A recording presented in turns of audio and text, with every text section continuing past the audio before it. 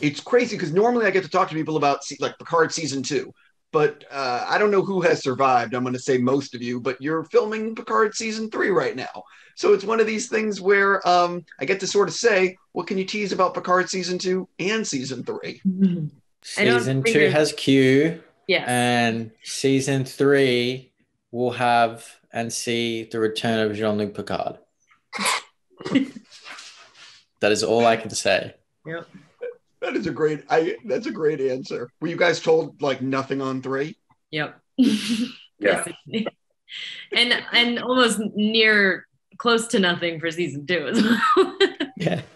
It's one of these things that when, when I'm talking to actors on a show like this, uh, that you know where the secrets are very secure. It's hard because you want to talk, but anyway. Yeah. So I, I'll ask this for all three of you.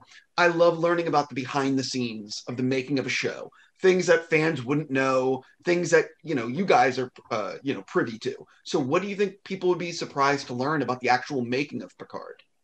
Uh, well, I mean, I think one of the things we were talking about is that how um, I think with these kinds of shows, people always think that you're not really on that everything. There's a lot of green screen. You're not on the sets. So you're not really in the real places. A lot of it for us, it all feels very, very real. And the great thing about season two is that we're in Los Angeles in the present, so we got to be, you know, we were the, on the set in the real set. So it got it, feels very grounded in that respect. You're always in, in the in the reality and of of where you are we have these incredible um, ships built and sets built, so everything feels very, very real. Even move, you know, even like battle se- sequences feel more real than what you would think. So there, there's a lot of uh, there's there's a lot of pretending, but it's all it's all grounded in a lot of a lot of reality surrounding it, which is great.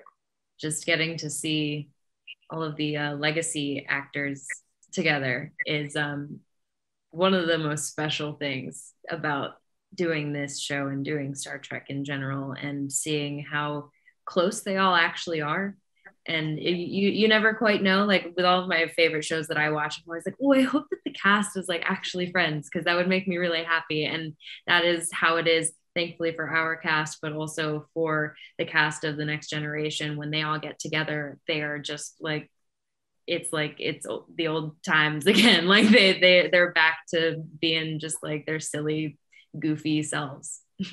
I'd say just the time it takes to even film one or two episodes. People don't realize uh, how much like even a minute of film like takes. I mean, you put on an episode, it goes for 55 minutes, and you're like, well, that was quick, but it it really is time consuming. It takes dedication. Sometimes scenes take days to film, and it really is like a credit to you know the cast and the crew and everyone behind it. It and it really does help when you all get along with each other and you've all got this kind of one track mind and like vision and, and goal that you want to kind of achieve and it i feel like it reflects that we all care Oh, for sure. My, my last thing for you guys, because I'm going to be out of time.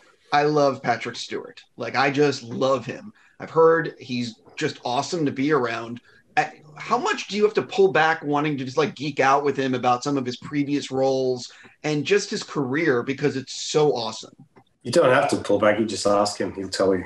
i'll tell you yeah it's which is great. You get to hear such great stories and anecdotes about you know who he's worked with and what he's done and his time and all the theatre he's done. And it's, and it's great because it really feels like like that that uh, that we're part of a group and an ensemble and we're all sharing stories. But his, of course, have, have so much more. Uh, you know, they're, they're just so much more epic. I don't know if we're allowed to tell you a lot of the stuff, but I mean, it's just if you ask him about an episode that he filmed or uh, so, someone who, who had a cameo, I mean, like it's just great hearing all of these old stories that that he has, and it kind of like makes you feel like you're a part of something like bigger.